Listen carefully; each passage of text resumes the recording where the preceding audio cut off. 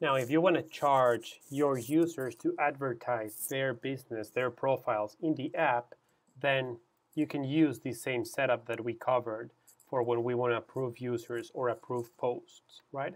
So what we have here is, again, if I go to my tabs, I have a couple tabs, which is the admin tab, where I have conditional visibility for that tab. Now this tab will show up for users that are admins.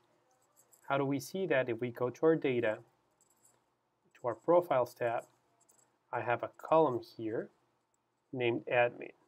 And in this case, my email address is checked, so I am an admin. If I log in as someone else, let's try this email, and I'll preview as this user, since that user is not an admin, then he doesn't see those two tabs that I have as an admin. We have already covered that. Now, for admin, you go to your data on your profiles, and then you mark yourself as an admin. Now, as an admin, you have access to these other tabs. Now, what you can have is have your users set up their profile or set up their post, set up uh, their business listing, and then you will approve that business listing as an admin, right? So here we have a list of places. And then here I have an admin tab for when the check value is approved.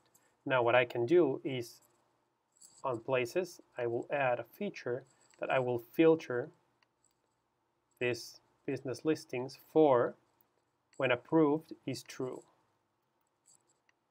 Now right now, none of the places are checked. Now since I am the admin, I can go to my admin tab and mark this. Remember here in layout, I'm a checklist layout and then the check value is the approved value. So I can mark them, all of them as approved because they've paid, right, to be in the, in the app.